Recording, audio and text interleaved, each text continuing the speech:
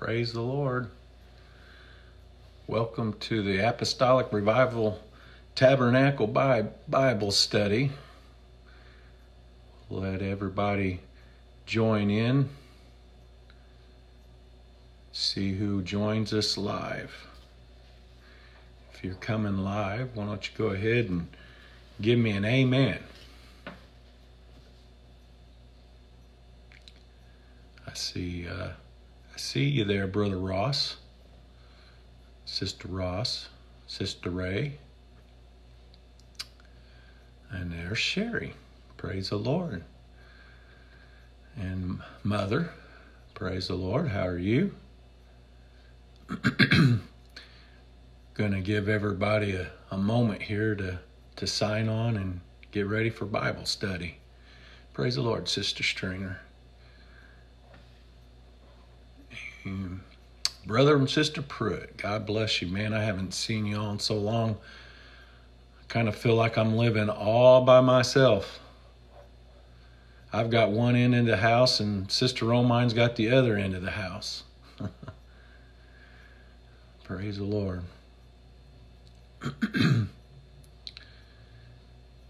well, it's good to have all that are with us, and maybe there's some with you uh, watching.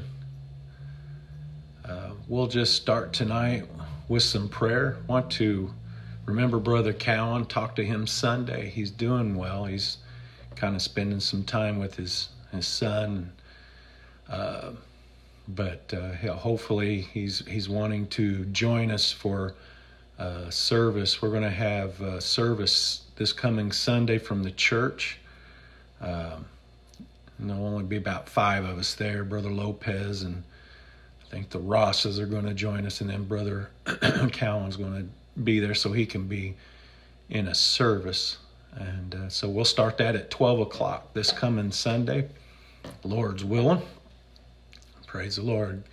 Praise the Lord, Sister Lily. Good to see, to have you with us. If you have a special need or special request, uh, just make it known to the Lord. And uh, we'll pray that God would have his way. And uh, I won't be too long here this evening, I promise, but I do have a thought from the Lord and just want to give you an encouraging word and, and try to uplift you a little bit and, uh, and, and allow the Lord to minister. Let's pray together. Lord, we thank you for this evening.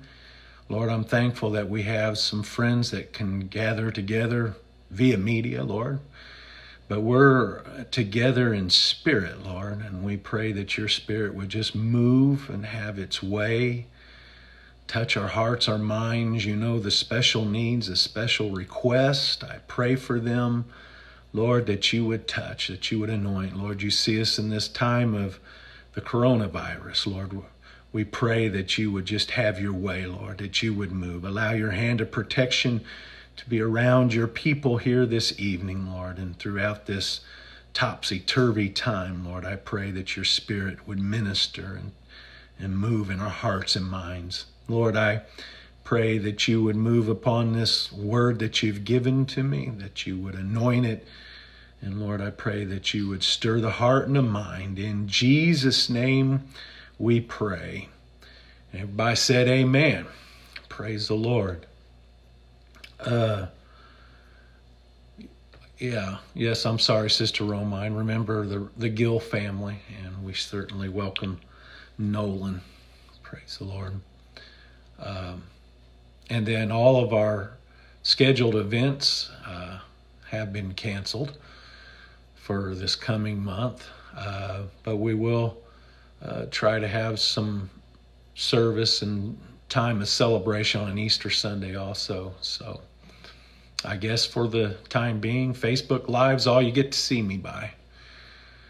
So um, for the next few moments, if you grab your Bibles, um, I'm not going to put it up there. You're going to have to look it up the old fashioned way. We're going to turn to uh, 1 Peter chapter 2, and I'm going to read verse 9 and 10. 1 Peter chapter 2 and 9 and 10. Praise the Lord. But ye are a chosen generation, a royal priesthood, a holy nation, a peculiar people, that ye should show forth the praises of him who hath called you out of darkness into his marvelous light, which in times past were not a people, but are now the people of God, which had not obtained mercy, but now have obtained mercy my thought this evening we are still the chosen people. Even though uh, we're going through what we're going through now, we need to remember that we are His. We are the sheep of His pasture. He is our shepherd. So it's who we are.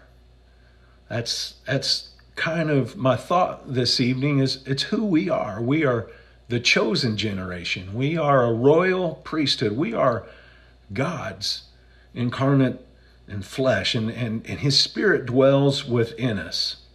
So it seems to be when we get out of our routine. I, I don't know how many of you have this routine. I, I certainly have uh, some routines myself, and I have not been able to be a part of those routines uh, for the last couple of weeks. And so you get uh, sort of chaotic in your lifestyle. It just, it's like there's uh, time really just kind of doesn't really mean anything.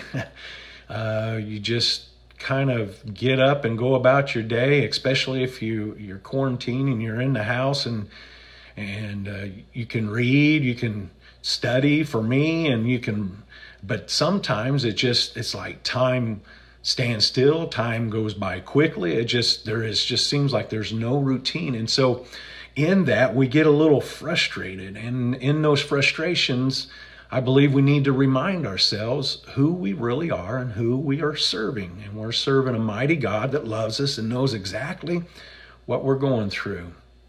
I i thought today i got a a uh, uh, a uh, thought on my or a uh, I'm sorry, it's lost me a alert, excuse me, on my phone this morning about an earthquake that happened uh, up in the northwest part of the country.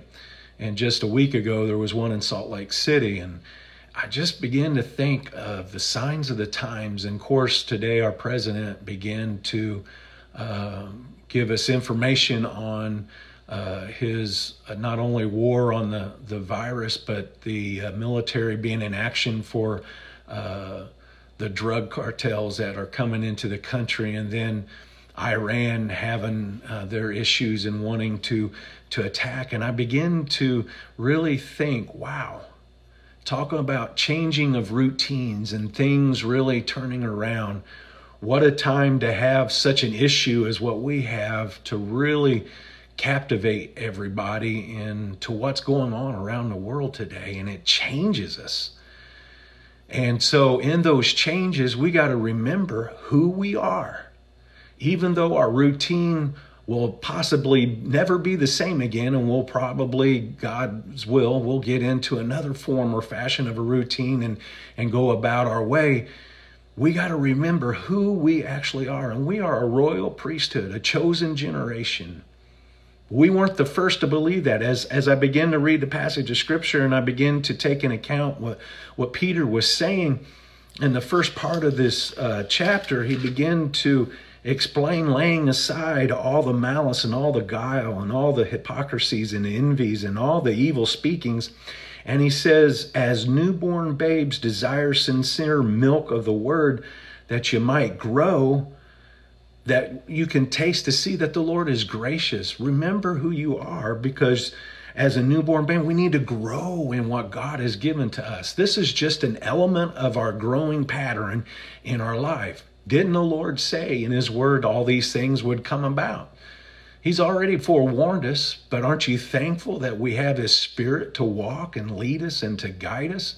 Surely He knows exactly where we're at. and He knows the need of our hearts and our minds. So, Tonight, I want to remind you to remember who you are. You are a, cho- a, a, royal priesthood, a chosen generation. We are living in the time and the hour that God has chosen for us. And sometimes we forget about the voice that we're hearing.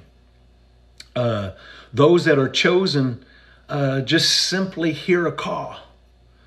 Uh, I know there's questions. How, how do I be a chosen individual? How do I get to be that chosen part? How do how how does that happen? Do you hear the call of the master? As these trying times begin to plague our society and even plague our homes, who's calling your name? I know who's calling my heart, and my heart's panning after the, the water brook. I'm panning after the Lord. I'm, I'm putting my faith and my trust in Him because I know that He cares and understands where I'm at. In fact, in Acts chapter 13, verse 44, Paul uh, and Barnabas was there uh, teaching and preaching in the synagogues. And they was trying to preach the gospel they was preaching the gospel to the jews first. And so they was receiving it and they was allowing uh, the spirit to move upon them but then god gave a call that I, to paul and said i want you to go and preach a little further i want you to meet with the gentiles and in verse 44 the jews begin to see that it wasn't just for them that was chosen, it was for the entire world. And so they got a little jealous and began to have a little persecution against Paul. I say this that even though the persecutions may be coming on us on every side, we are still a chosen generation. It doesn't matter who says that your your God's not real or or you're not a true Christian or Jesus isn't God. It doesn't matter. All you got to do is live the testimony of who Jesus is to you and what he's done for you because he's chosen us and we're hearing uh, that mosaic call to our, of our lives from him. He's, he's given us that liberty, that freedom that we can live in this world full of fear, full of dread, full of things coming. We can live in peace though. Why?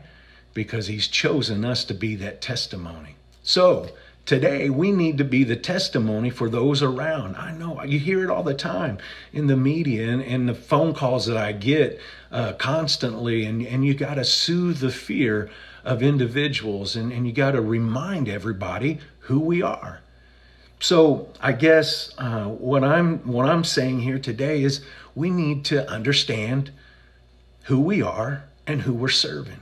In fact, Peter would begin to go on and begin to teach uh, those that Jesus is the cornerstone. He is the foundation of our faith. He is the rock in which we can stand on. And in fact, uh, he would begin to uh, call uh, on, on those to remember Israel as the chosen people and, and how they knew him. And uh, they were known as priests, the kingdom of priests. And and Israel was also known as a holy nation, and they was also known as royal people and a peculiar people.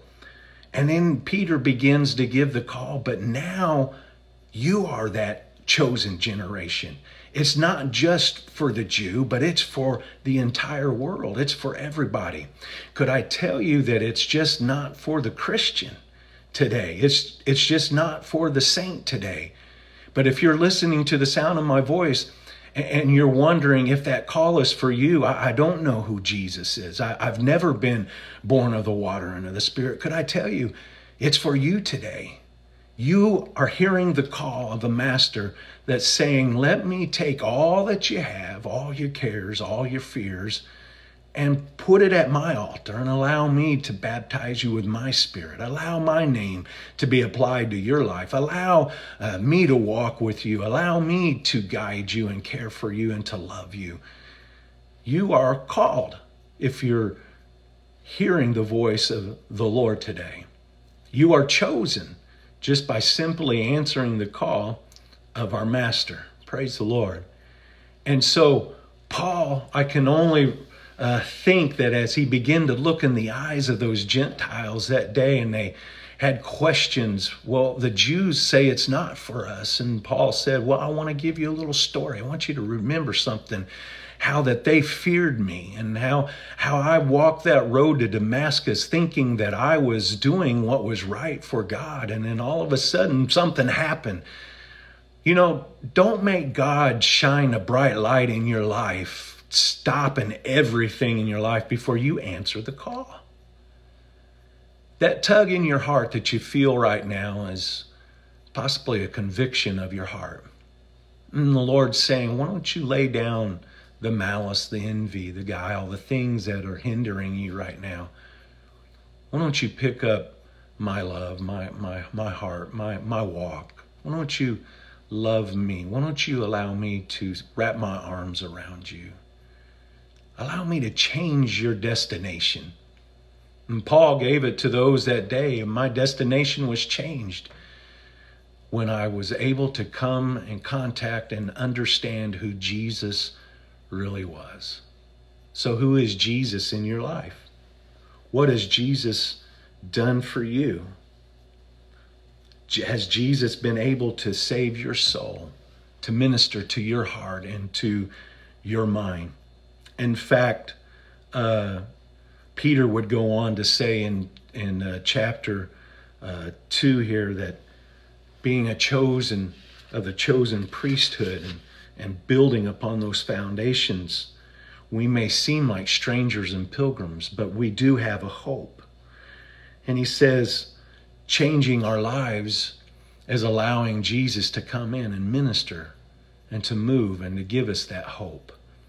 So tonight, as we're about to close in prayer, I pray this has been an upliftment for you to realize who you are and allow Jesus to just move into your homes, give you that lively hope, that joy, that satisfaction of knowing that uh, salvation is yours and it's yours tonight.